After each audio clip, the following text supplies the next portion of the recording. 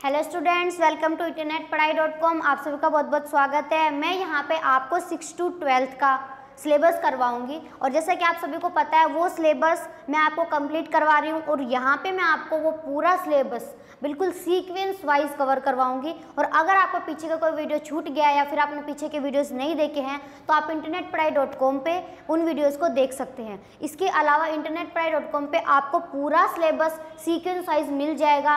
और इसके अलावा जैसे सिक्स टू ट्वेल्थ का सिर्फ़ यही सब्जेक्ट नहीं से मैथ्स है फिजिक्स है केमिस्ट्री है, उन सभी के कंप्लीट कोर्सेज आपको सीक्वेंस वाइज मिल जाएँगे। स्टूडेंट्स हम साइकिल के बारे में पढ़ रहे थे जो भू रासायनिक चक्र होते हैं मतलब जो से एनवायरनमेंट के अंदर हैं, उनसे क्या प्रोसेस हो रही है और जहाँ से स्टार्टिंग हो रही है, वहाँ से पे वो क्या हो रहा है फिनिश हो रहा है। तो ये एक साइकिल है जो चलता रहता है एनवायरनमेंट के अंदर। तो वो हमने पढ़ना है कि वो एनवायरनमेंट के अंदर जितने भी जो कंपोनेंट्स होते हैं, उनके अंदर वो किस तरीके से चलता है, ठीक है?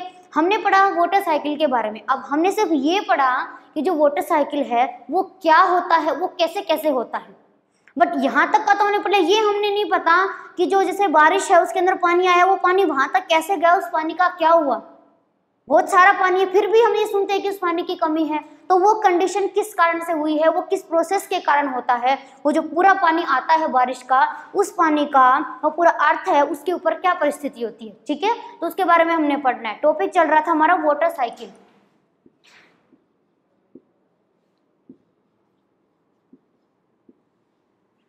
जलीय चक्र। तो देखिए, सबसे पहले होता है जलवाष्प, जल होगा। गर्म हुआ, जलवाष्प बनी। फिर क्या बनेगा उससे? वो बारिश के रूप में जलवाष्प के रूप में ऊपर आ गया। फिर बाद में बादलों के रूप में क्या आ गया? वापस से नीचे आ गया। और वो बारिश से फिर वो पानी कौन लेके गया? नदियाँ लेके गई। नदियाँ लेके जाके वो पानी समुद्र के अंदर मिल गया। ये पूरी प्रोसेस होती है। सतह पर गिरा पानी, बारिश से, फिर नदियों के द्वारा कहाँ चला गया? समुद्र में चला गया। ये जो पूरी प्रोसेस है, वो जल चक्र कहलाती है। वाटर साइकिल कहलाती है। ठीक है? तो ये हम किसके अंदर पढ़ते हैं? जल चक्र के अंदर पढ़ना। अब हमने पढ़ना है कि ये जो वाटर साइकिल है, उसके अंदर जो पूरा पानी वानी है, वो सारी कंडीशन उसकी कैसे होती है?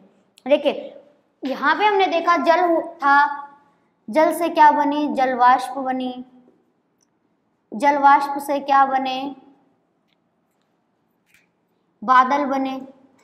बादल से फिर क्या हो गई? बारिश हो गई। और बारिश से वापस पानी क्या आ गया? भूमि पर आ गया। अब यहाँ के आगे क्या कंडीशन होती है यहाँ से?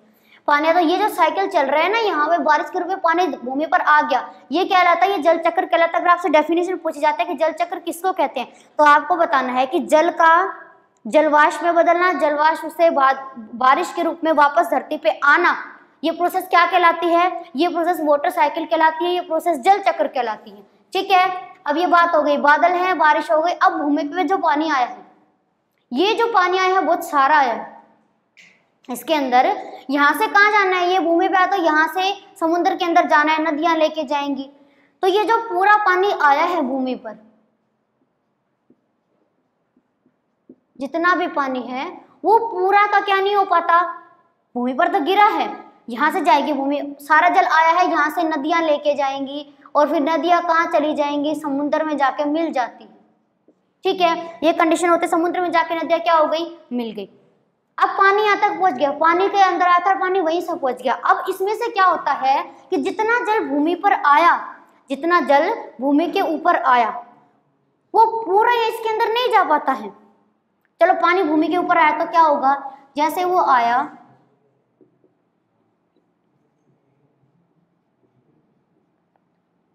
वो पूरा तो ना तो इस प्रोसेस के अंदर गया, ना उसका पूरे का अच्छी तरह से यूज़ हुआ तो क्या होता है कि इसमें से कुछ पानी होते हैं, सारा जल भूमि पर गिरा। इस पर नहीं किया जाता, सारा जो है वो नहीं लेके जाए। तुरंत समुद्र में भी नहीं जाता है वो। कहा नहीं जाता है, पूरा का पूरा वो कहा नहीं जाता है, समुद्र में नहीं जाता है।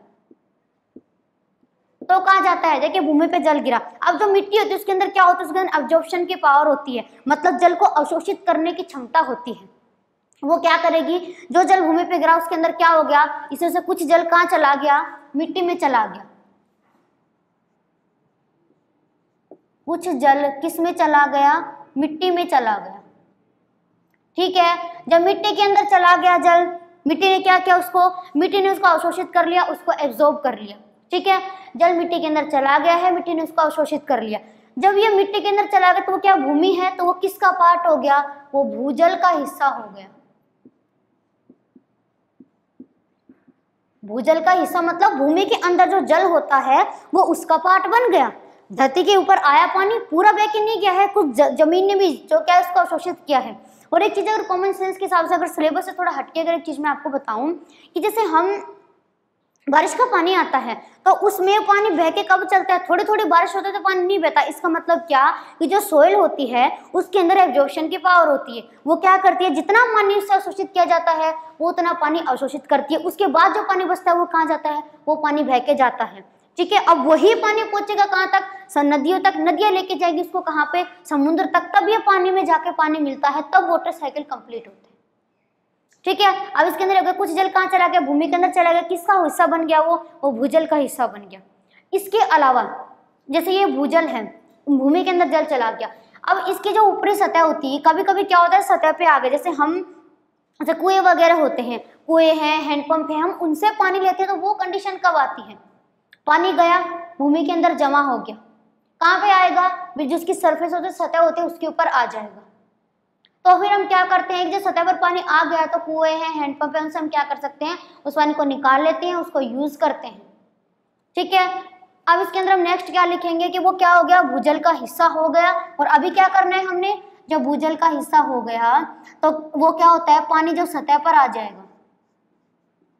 कंडीशन कौन सी होनी है अभी? जब पानी कहाँ है? सतह पर आ गया। तो हम क्या करते हैं? जैसे कि कुएँ वगैरह आते हैं। उनसे हम क्या कर लेते हैं? उस पानी को बाहर निकालते हैं। ठीक है? और उसका हम क्या करते हैं? यूज़ करते हैं। किसमें यूज़ करते हैं? जो एक्टिविटीज़ हम करते हैं हमारे लिए पानी जिस भी कंडीशन में, जिस भी हाल में मिलता है, वो उसी टाइप का, जहाँ पे कमी होती है, वहाँ पे जैसा भी पानी मिलेगा, वो पानी यूज़ में लिया जाता है। और जो पानी कहाँ गया? ज़मीन के अंदर गया, भूजल हो गया। भूजल मतलब भूमि के अंदर गया जल। ठीक है? अब वो जल उसके अंदर तो चला गया है। अब क्या होगा नेक्स्ट उसके अंदर चला गया, जब वो उसके अंदर पूरी तरह से इकट्ठा होगा तो वहाँ पे कुआ बन जाता है, क्योंकि मतलब वहाँ पे पानी का क्या हो रहा है? पानी वहाँ पे स्टोर हुआ है। और जब पानी स्टोर होगा, वहीं से तो हम जल को बाहर निकालेंगे। ठीक है? अब ये कंडीशन होती है एक कि इसके अंदर पानी को क्या किया हमने बाहर निकाल लिया। इतनी ये जो प्रोसेस है, ये मैंने आपको बताया, आपको समझ में आ गया होगा। अगर आपको समझ में आ गया है तो आप वीडियोज़ को लाइक कर दीजिए, ताकि मुझे पता चले कि आपको समझ में आ गया है। कोई कन्फ्यूज़न है, कोई डाउट है तो आप कमेंट बॉक्स में कमेंट करके पूछ सकते हैं।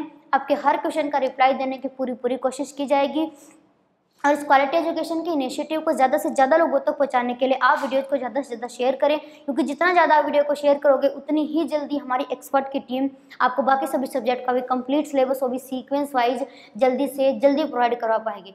सो आप ज़्यादा से ज़्यादा वीडियोज़ को शेयर कीजिए और सब्सक्राइब करना मत भूलिए। साथ में बेल आइकन को ज़रूर प्रेस कीजिए ताकि आपको डेली अपडेट्स जो है वो मिलते रहें। और अगर आपने अभी तक हमारे पीछे के वीडियोज़ जो हैं वो मिस हो गए आपके तो आप इंटरनेट पढ़ाई की प्लेलिस्ट में जाके उन वीडियोज़ को देख सकते हैं। वहाँ पे आपको chapter to chapter topic to topic सारा सिलेबस है, वो मिल जाएगा। तो देखिए, इसके अंदर क्या हो गया? भूमि के अंदर पानी गया। ये कौन सा पानी है? ये जो प्रोसेस हम बोल रहे हैं ना, बारिश वाली, इसके अलावा है ये पानी। ये पानी जा रहा है। इसके अलावा जो पानी है, उसकी कंडीशन हम देख रहे हैं। भूमि के अंदर चला गया। भूजल बन गया है, उसके अंदर हम क्या करेंगे? सतह पे पानी आ गया कुएँ अंदर है, हम उससे क्या कर सकते हैं? उसको बाहर निकाल सकते हैं। फिर उसका हम यूज़ करते हैं, जितने भी हमारी एक्टिविटीज़ होती है, जितनी भी हम डेली लाइफ में जो भी क्रियाएँ करते हैं, उनसे हम कर सकते हैं। अब देखिए, जब पानी बह रहा है, जल आया है तो कुछ ऐसे क्या होते हैं? बहुत सारे पदार्थ जो होते हैं, एक उसके अंदर क्या होते हैं? आते हैं। अगर हमें बात करें कि जैसे वाटर है, उसके अंदर क्या सब चीज़ें सबसे इंपॉर्टेंट चीज़ जो वाटर होता है, वो क्या होता है? जल। क्या है? यूनिवर्सल सोलवेंट है। यूनिवर्सल सोलवेंट है। मतलब ये हर एक चीज़ को अपने अंदर घोलने की क्षमता रखता है, जो चीज़ इसके अंदर घुल सकती है, उन सभी चीज़ों को अपने अंदर क्या रखता है? घोलने की क्षमता रखता है। इसीलिए ये है, और सबसे इंपॉर्टेंट चीज़, आपके नीट वगैरह में से क्वेश्चन आता है यूनिवर्सल सोलवेंट कौन सा है? जल से हमें कितनी कैलोरी एनर्जी मिलती है? तो वो चीज़ें इंपॉर्टेंट है। इसी टाइप के क्वेश्चन बनते हैं, जो कि इतने ईजी होते हुए हम नहीं कर पाते हैं। तो इसका आपको ध्यान रखना, जल क्या यूनिवर्सल सोलवेंट है? मतलब ये ज़्यादातर चीज़ें जो इसके अंदर घुल सकती है, उन सभी पदार्थों को अपने अंदर क्या कर सकता है? घोलने में सक्षम होता है। इसके अंदर ये पावर होती है। ठीक है? अब देखिए, जल आया है। जल क्या करता है कि जो, जैसे मिनरल्स होते हैं, खनिज पाए जाते हैं। तो जो खनिज इसके अंदर घुलते हैं तो जो घुल सकते हैं इसके अंदर तो जब ये जाता है जल बह के तो क्या करता है? अपने अंदर उन सभी खनिजों को क्या करता है? घोल लेता है। अब कुछ तो क्या हो गए? घुल गए। कुछ हो क्या हुए? नहीं घुले। तो जो नहीं घुलते हैं, वो क्या करते हैं? वो पानी जो से बह करके काने जा जाते हैं, समुद्र में चला जाता है ओपन तो नेक्स्ट असाइनमेंट हम इसके अंदर क्या लिखेंगे? ये तो हो गया कि जल के यूनिवर्सल सैलनेट है। जब भी क्या? अधिकांश जो पदार्थ होते हैं उन अधिकांश पदार्थों को क्या कर सकते हैं ये? घोलने की क्षमता रखते हैं। घोलने की क्या रखते हैं? क्षमता रखता है। क्यों रखता है? यूनिवर्सल सोलवेंट है, इससे पतला कुछ नहीं है। लिक्विड से पतला। इस कारण से क्या होता है? ये हर एक चीज़ को अपने अंदर घोल सकता है। अब ये तो कंडीशन हो गई कि घोल सकता है। दूसरा मैंने बोला मिनरल्स के बारे में, खनिजों के बारे में। नेक्स्ट कौन सा आता है? मिनरल्स खनिजों के बारे में कि जो खनिज होते हैं, इसके बारे में कैसे? देखिए मिनरल्स हैं, पानी जा रहा है तो क्या करेगा? उसके अंदर खनिज आएँगे, उसको घोल के ये क्या कर रहा है? लेके जा रहा है। तो जो घुल सकेंगे, वो तो घुल गए। उनको तो जल क्या होगा? जो कुछ घुल सकते हैं, उनको तो क्या होगा? लेके जाएगा। और जो कुछ नहीं घुले हैं, नदी के साथ क्या जाएँगे? नदी के अंदर पानी बहेगा तो उसके अंदर क्या होता है? वो से जो पोषक तत्व होते हैं, वो मिले हुए होते हैं। मिनरल्स कौन से जो इसके अंदर घुल गए? जो इसके अंदर सोल्यूबल हैं, उन घुलने वाले जो मिनरल्स होते हैं, उन वो तो किसके अंदर घुल जाते हैं? वो वाटर के अंदर घुल जाते हैं। जल के अंदर क्या होते हैं वो? घुल जाते हैं। ठीक है? जब पानी के अंदर घुल गए तो कोई बात ही नहीं उसकी तो नेक्स्ट आ गई कि वो घुल गए खत्म कहानी। अब नेक्स्ट आता है, जो नहीं घुले, जो खनिज इसके अंदर क्या होंगे? नहीं घुलते हैं।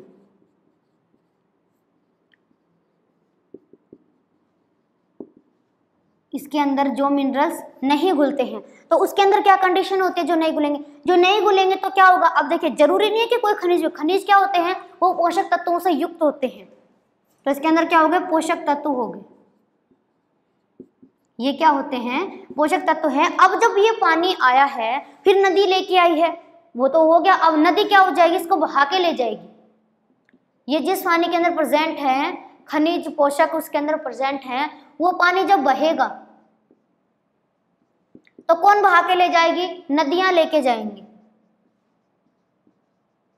ठीक है? नदियाँ लेके जाएँगे। अब नदियों के अंदर वो खनिज पोषक तत्व जो है, वो लगातार क्या जा रहे हैं? बहते जा रहे हैं।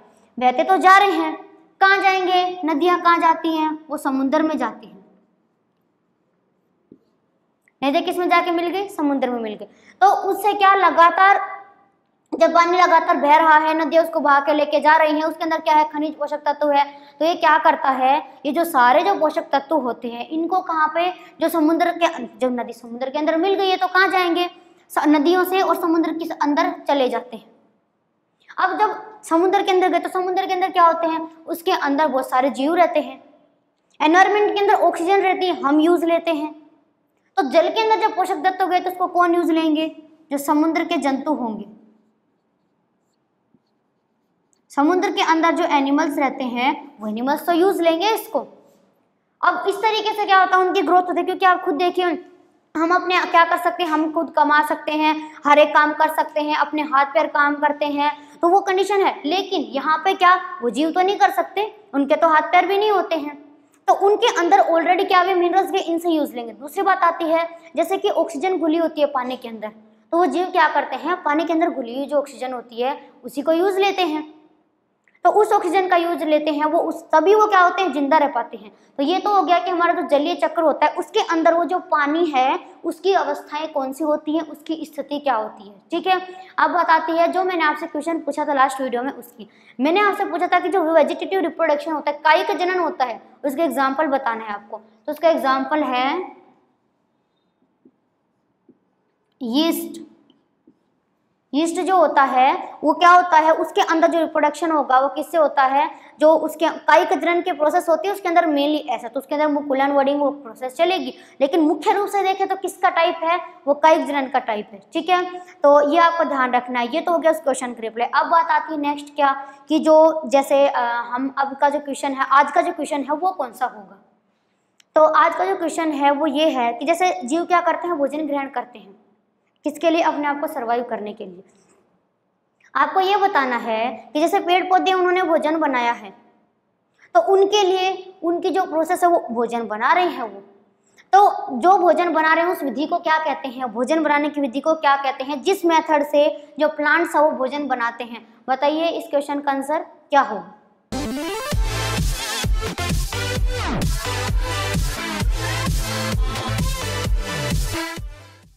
अगर आपको मेरा पढ़ाया हुआ समझ में आया, आपको वीडियोस पसंद आया तो आप वीडियो को लाइक करके बताइए कि आपको समझ में आ गया है। और अगर कोई कन्फ्यूज़न है, कोई डाउट है, कोई क्वेश्चन है तो आप कमेंट बॉक्स में कमेंट करके बता सकते हैं। यहाँ पे आपके हर क्वेश्चन का रिप्लाई दिया जाएगा। और यहाँ मैं आपको सिक्स टू ट्वेल्थ का कंप्लीट सिलेबस करवाऊँगी।